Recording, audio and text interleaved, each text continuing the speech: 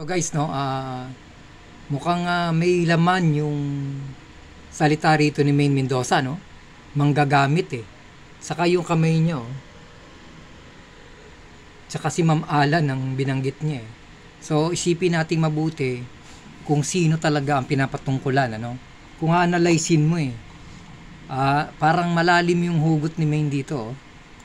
Iba! Mamaalan! Hi, di ba? Yun yun yung team po doon. Hi, gumano siya. Magkagamit! Ay! Iba! Yan no? Bakit kailangan niya pang i-gesture yung kamay? At saka bakit si Alan ang binabanggit niya, no? Alam naman natin na si Alan ay, di ba? Gay, di ba? Tapos yung kamay niya, yung pilantik ng kamay niya, parang may pinapatamaan talaga. Mamaalan! Magkagamit! Ay! Iba! Hi, gumanon. Hi, di ba? Yung paggaga, hi. Tapos yung kamay niya pumalin, pumalintik eh. So parang mayroong kahulugan, ano? May parang ah, merong meaning eh. Ayan, no? Kung aanin mo yung kamay niya, may kahulugan talaga. So sino yung pinapatungkulan, guys? Sino kaya? Mamaalan! Magkagamit! Ay! Iba! Ah, kunwari, liligawan ka.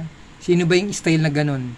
Papogi, masyadong balidoso, ang mga best friend, ano rin, mga bading din, di ba?